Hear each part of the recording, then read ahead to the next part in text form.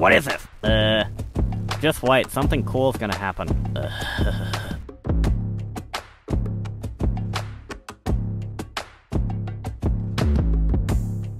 and welcome to Facts or Frauds. People versus Martin, case 241388SM. Today's the uh, date and time set for a settlement conference. Also, there was a uh, motion by Mr. Martin, um, motion to dismiss the case. Court has um, read through the motion. Uh, There was no accompanying brief in support, well, There's also uh, objections to the denial of the uh, personal bond. I'm going to consider that as a motion for reconsideration. All right, Mr. Martin, was there anything else you wanted to place on the record, sir? Oh, yes, um, well, first, I'm not the fraudulently assumed defendant. I am a living sovereign man. um, I can see, uh, I can see that you are a living man. Uh, You are currently talking and uh, we are having a conversation, so, okay. Right, but, well, but John, un- under the law, there's fraudulent presumptions under canon law thirty-two twenty-eight that, you know, that say otherwise and there's a lot of support what I'm saying. That's why I say what I say to, you know, for the record, but anyways, yes, I do have other things to say. Um, first, I also want to file a, uh, demand to dismiss this case based on speedy trial violation under Michigan Court Rule six point zero four C, twenty-eight days for speedy trial in misdemeanor cases. I've been in jail over that since the eighth of last month, June. Um, and also, go ahead, and I also want to say, uh, I ask that you give me all the time to speak, say anything I want to say, you know, instead of like shutting the court proceedings off that's happened before, make sure I, you know, I'm done with everything I have to say, but that's it for right now. Um, but I, like I said, I to say depending on what you say in response. All right, well, your uh, motion to dismiss is denied.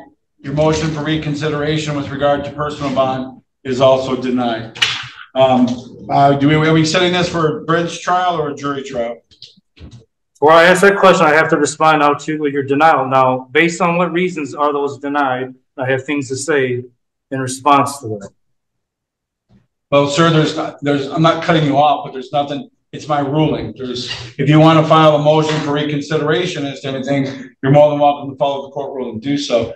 Um, but there's, there's really nothing to add to my ruling. Um, so. I'm not asking the, I'm just asking the reason, I'm not asking the, I'm what are the reasons that the, um, the bond, for example, is denied? Okay, first of all, what's, what reasons is it being Already- denied? I've already stated that last time, sir. So are we at, my, the next question here is, do you want a bench trial or jury trial? Well, I have more to say in response to the, um, the. Do you want a bench trial or a jury trial, sir? Stop avoiding the question.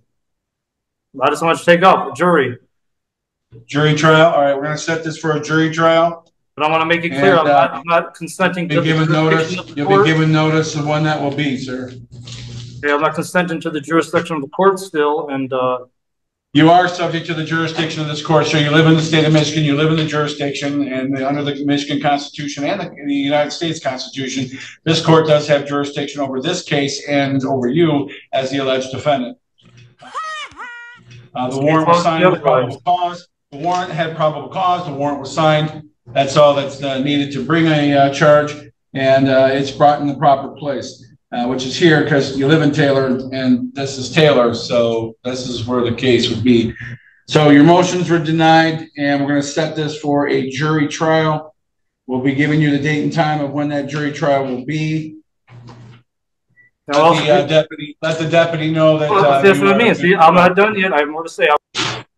So where did these dummies get these dumb ideas? The same place that wants you to believe your miserable aunt and closeted uncle are actually happy the internet.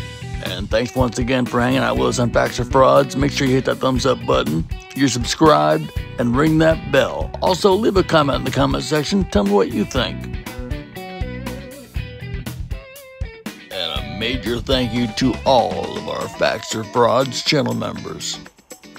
Wanishi, thank you. If you'd like to become a member, just hit that join button right next to subscribe or click on the link in the description. Now, if you're still hanging out, thank you. I appreciate you all. Why not hit that thumbs up button? Make sure you're subscribed, ring the bell, and leave a comment in the comment section. Tell me what you think. Till next time, I'll see you soon.